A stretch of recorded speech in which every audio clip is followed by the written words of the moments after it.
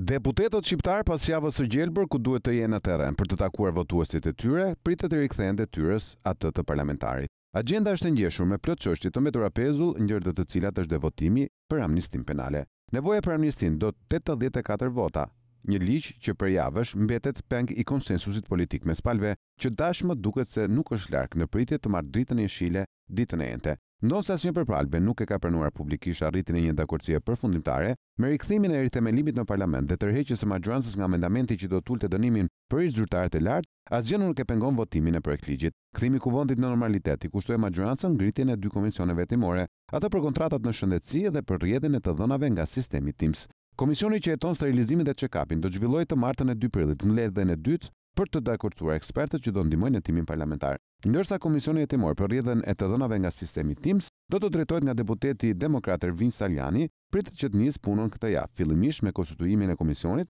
dhe miratimin e një plani të qartë pune. Deputetët do të shqyrtojnë dhe kërkesën e maxhorancës për ngritjen e një komisioni të posaçëm parlamentar për të luftuar dezinformimin dhe ndërhyrjet e vendeve të huaja në proceset demokratike në vend. Socialistët përmes një kërkese të depozituar nga grupi parlamentar kërkojnë që përmes këtij komisioni të adresohen disa fenomene shqetësuese si fushatat e dezinformimit në mediat tradicionale dhe sociale për të ndikuar në opinionin publik, mbështetjen financiare të drejtpërdrejtë dhe përpjekjet për dezinformim, shantazhimin ekonomik të aktorëve publik, dhe manipulimin e shoqërisë civile. Konferenca e Kryetarëve pritet të vendosë dhe për kalimin sërish në Parlament të pesë projektligjeve të anulluara nga Sekretariati për Procedurat dhe Votimin për shkak të votimit pa kuorumin e nevojshëm në seancën e fundit plenare atë të datës shtatë mars.